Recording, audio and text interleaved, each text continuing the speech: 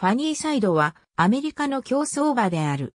2003年のケンタッキーダービー、プリークネスステークスを制止2冠を達成。エクリプス賞最優秀3歳母馬に選出された。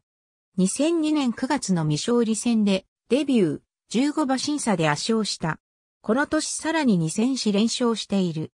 2003年は重賞で堅実に走り、4月のウッドメモリアルステークスで G1 に初挑戦、エンパイアメーカーの2着に敗れる。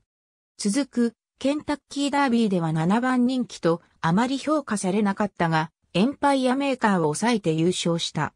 ニューヨーク産の馬として、史上初、馬の優勝は1929年のクライド・バン・ドゥセン以来74年ぶりであった。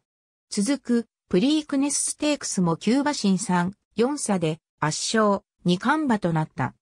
口述の理由により、大人気を得ていたファニーサイドの三冠達成の瞬間を見ようと、ベルモントステークス当日は10万人を超える大観衆がベルモントパーク競馬場に詰めかけたが、宿敵エンパイアメーカーの3着に敗れ、三冠制覇はならなかった。その後は2004年10月のジョッキークラブゴールドカップに勝利。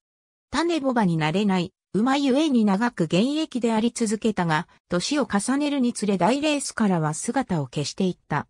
2007年7月のワズワースメモリアルハンデキャップで約1年ぶりに勝利したのを最後に現役を引退した。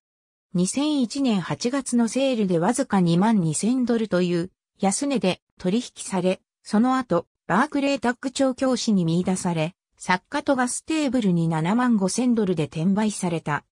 サッカトガステーブルとはごく普通の一般階級の人間10人からなる共同馬主グループであり、他の大富豪の馬主たちとは明らかに一線を画す存在であった。取引価格の安さと馬主が庶民であるという親しみやすさがファンの共感を呼び、ファニーサイドは爆発的な人気を得ることになった。ありがとうございます。